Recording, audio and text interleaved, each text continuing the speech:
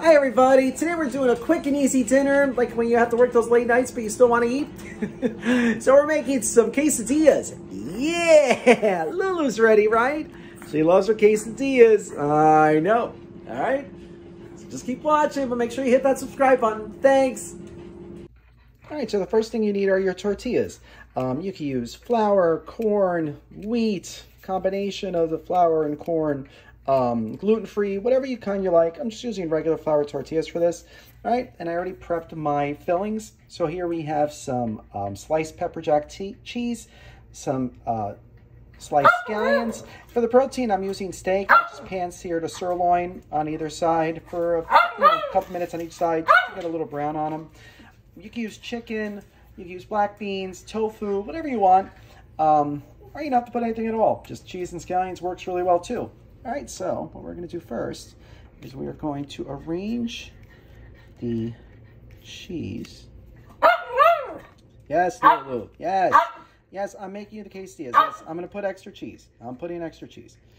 All right, so we got our cheese layer. All right, then we're just going to sprinkle some scallions. As many as you want. You can use red onion. Um, you don't have to use scallions. Shallots work really nice with this too. I really like the flavor that the, shallot, the scallions bring. All right, and then we're gonna arrange some steak. Just around the whole thing. So this way, every bite, you'll have some meat. But again, you use chicken. You know, this is a great thing to do with leftover chicken. All right.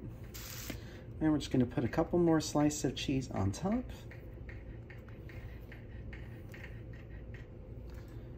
All right, and then top of the tortilla. All right, so the next, so once you got them all prepped, you're gonna put them in the microwave just for 45 seconds. What you wanna do is you just wanna melt the cheese. Show it holds together when you're pan frying it. All right, so now we wait. So after 45 seconds, you'll see cheese is nice and melted. This thing is all stuck together. It's hot. I'm kind of burning my hand. All right, so now we're going to prep the rest of them. Five total. I have string beans for the dogs. Yes, Lulu. Yes. Yes, I'm making you the quesadillas. And yes, I'm giving you string beans too. All right, so we're going to prep the rest of them. And then, once you got them all prepped, you want to preheat your saute pan. You want to get it nice and hot. You want to make sure you're using a non-stick um, pan. You're going to heat it up under high heat for just, you know, until the pan gets nice and hot. You're gonna drop your tortilla right on it. Alright, so this thing get hot enough. but we're just gonna, you know, crisp up the sides.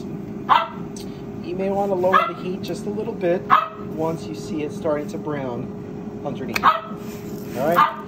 Yes, Lulu, I'm making your quesadillas. I'm making it.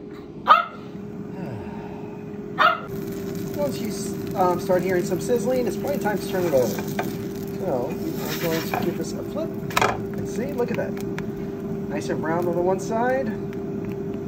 Mean, nice and crispy. So now we're to do the same to the other side. And that's it. You got yourself a beautiful quesadilla.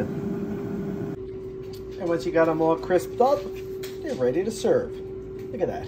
Melty cheese, crunchy tortilla. You can even do these on the grill, but it's hot out. so I like them. The pan fried works just as well. And oh so delicious. Yes, Lulu, now dinner's ready. Okay? Are you happy? Are you happy? You're happy. Yay. If you like this video, be sure to subscribe to our YouTube channel at Poppy's Cucina. Thanks!